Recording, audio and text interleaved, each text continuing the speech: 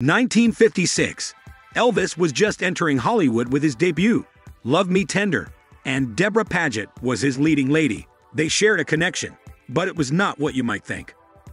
Debra's first impressions of the Tennessee singer were mixed, but his manners won her over.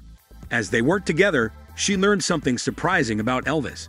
Beneath the rock star persona, he cared deeply about criticism and carried a humility that contradicted his fame. But the startling revelation is yet to come. Despite his natural talent and undeniable appeal, their relationship remained platonic. It turns out Elvis was more interested in Debra's family than a romantic connection. And here's the twist. Rumor has it, Elvis asked for Debra's hand, but her parents refused.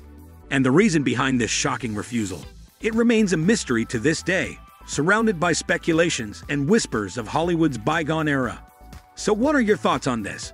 Sound off in the comments section down below. And please don't forget to like the video and subscribe to the channel for celebrity news and updates every day.